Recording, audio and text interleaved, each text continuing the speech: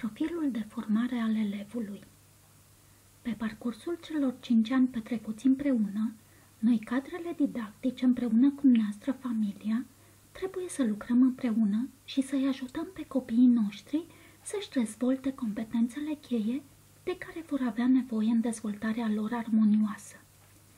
Eu aceste competențe le văd ca pe o casă. Prima competență care trebuie formată la elevi este competența de comunicare în limba maternă. De ce? Comunicarea este, de fapt, poarta către lume și viață. Copilul dobândește capacitatea de exprimare a trăirilor și emoțiilor sale cu ajutorul cuvintelor. Dezleagă înțelesul mesajelor orale și scrise. Își dezvoltă vocabularul și plăcerea lecturii. Această competență este indispensabilă în dezvoltarea intelectuală. De aceea, o putem asemui cu fundația unei case sau podeaua. Dezvoltarea unei gândiri critice, găsirea rapidă de soluții eficiente la problemele reale nu se pot realiza fără formarea de competențe matematice și științifice. Acestea le putem asocia cu pereții unei case.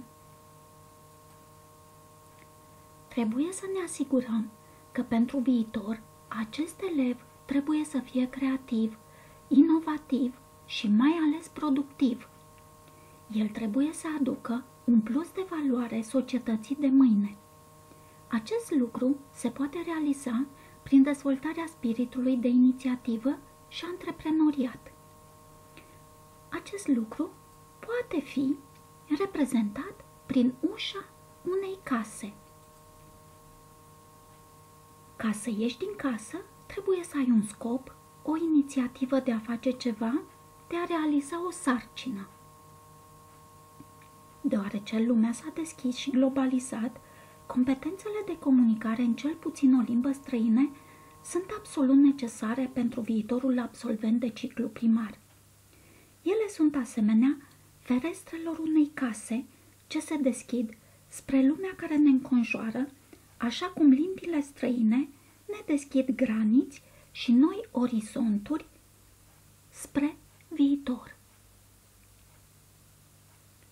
Elevul din ciclul primar reușește să-și formeze o imagine despre sine, despre ceilalți, să-și însușească și să aplice în viața de zi cu zi normele elementare de conduită, să-i accepte și să-i respecte pe cei diferiți de el, să socializeze, să pună bazele competențelor sociale și civice. Acestea pot fi regăsite într-o casă prin mobila folosită, canapele, fotolii, unde stăm la discuții cu prietenii și apropiații. Într-o eră în care tehnologia progresează zilnic, nu putem rămâne în actualitate fără a avea acces rapid la informații. De aceea se impune formarea de competențe digitale. Totuși, trebuie să fim atenți și responsabili la pericolele la care vor fi supuși copiii. Acestea eu le-am asociat cu focul din șemineu. La fel ca și focul, competențele digitale sunt într-o continuă schimbare.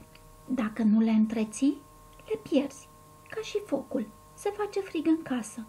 Dacă le întreții prea mult, te poți arde. Dar viața noastră nu ar fi frumoasă dacă nu am avea formată și o altă competență importantă, competența de sensibilizare și exprimare culturală. Acest lucru este important mai ales pentru sufletul și pacea noastră interioară. Unde poate fi găsită? În obiectele cu care ne decorăm casa. Cu sprijinul profesorilor și al familiei, prin utilizarea de tehnici și algoritmi de calcul, prin întrebări și răspunsuri, prin munca în echipă, elevul este învățat cum să învețe. Această competență se dezvoltă pe tot parcursul vieții și este cea care ne ajută să le întreținem și să le dezvoltăm și pe celelalte competențe enumerate. Ea este cea care ne întregește casa, adică acoperișul. Noi, cadrele didactice, împreună cu dumneavoastră familia, dacă vom lucra ca o echipă, suntem cei care îi vom ajuta pe copiii noștri să-și facă casa cât mai frumoasă. Vă mulțumesc!